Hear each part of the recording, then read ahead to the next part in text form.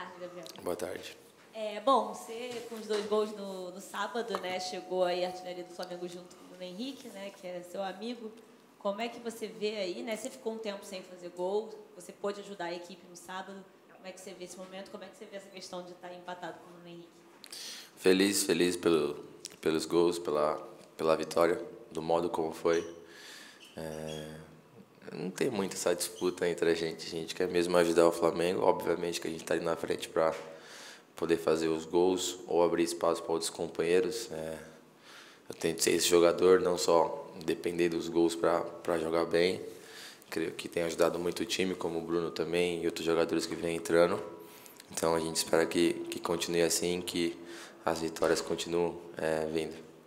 Gabigol, boa tarde. Boa tarde. É, você, claro, teve uma passagem pela Europa, agora está chegando um treinador para o Flamengo, um treinador europeu. É, algum jogador já chegou para conversar contigo? Como é que é o estilo dos treinadores europeus? Você já passou alguma coisa para a galera? Não, a gente não conversou muito sobre isso. É, quando cheguei no Benfica, ele tinha treinado lá, então é, na época teve uma conversa. Conversamos sobre ele, só foram coisas boas que vocês também estão vendo na internet. Todo mundo gosta muito do estilo dele, da pessoa que ele é.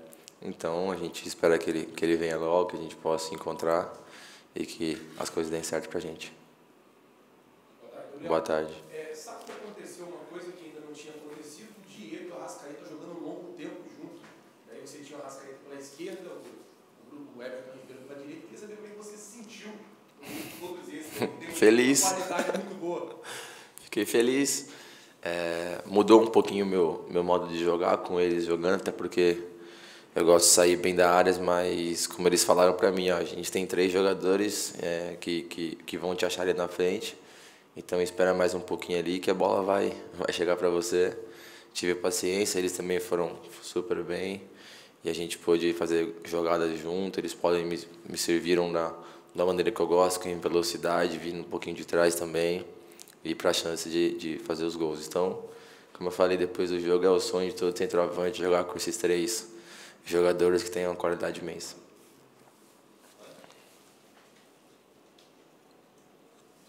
Oi, tudo bem? Tudo bem. É, queria saber com você o que, que você acha que muda é, no time agora, já que a gente vai ter o Cuejar, né, que já se apresentou na seleção colombiana, e sem o Arrascaeta também. Como é que você vê esse Flamengo para esse jogo tão importante? E saber se você acha que é o jogo mais importante do ano até agora. É, eu acho que jogar no Flamengo, todo jogo é importante. Não tem como a gente falar que isso é mais importante do que o outro, porque a cobrança é muito grande, a, a pressão entre nós é muito grande de estar tá sempre ganhando. Então, acho que sempre o próximo jogo é, é o mais importante. É, vamos sentir muita falta dos jogadores, obviamente, mas também temos um, um elenco muito bom, jogadores que podem substituir a altura e vão fazer isso.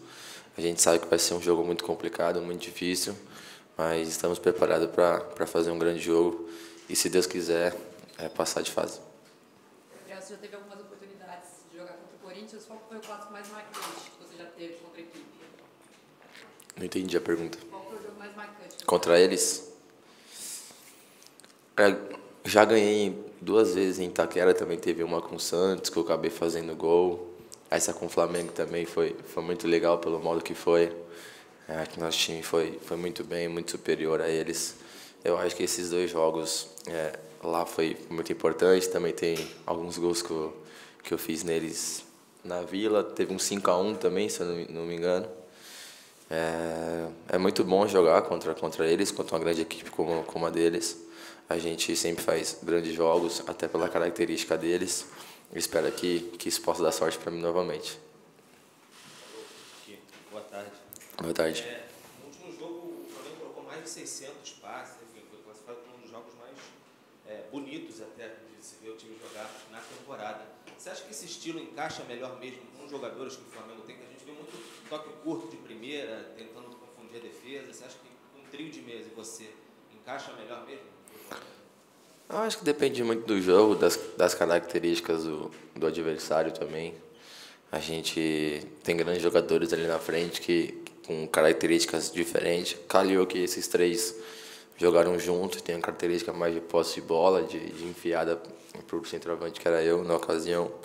mas também temos jogadores de velocidade, como o Bruno Henrique, o Vitinho, que também vão se encaixar é, em alguns jogos. Então, acho que quem ganha com isso realmente é, é o Flamengo, é o treinador, que pode escolher a característica do time é, com, com, como ele quiser, com, com posse de bola ou também sendo mais rápido. Você não vai gostar da pergunta, mas queria saber o que você acha que acontece se o Flamengo não se classificar? Eu não, não costumo pensar nisso. Sou muito positivo, muito confiante. A gente tem um, um grande elenco, a gente tem uma nação que vai estar lá apoiando a gente.